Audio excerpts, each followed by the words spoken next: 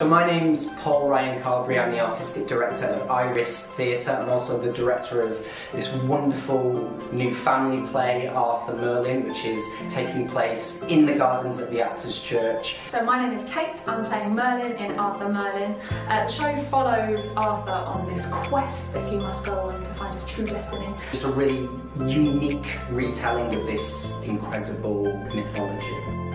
I am Michael, and I'm playing the role of Arthur in Arthur Merlin. What I'm trying to do with this adaptation is, I guess, like bring it to London, bring it to Covent Garden, bring it to St Paul's Church. Right in the heart of Covent Garden, and that space is so perfect for this forest adventure story. I'm playing Morgan Le Fay.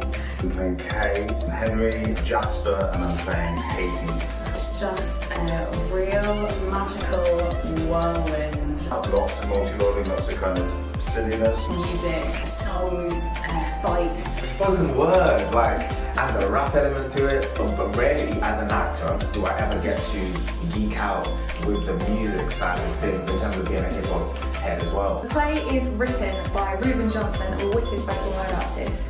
Um, and so me, and Merlin, gets to use a lot of this spoken word kind of as that magical language.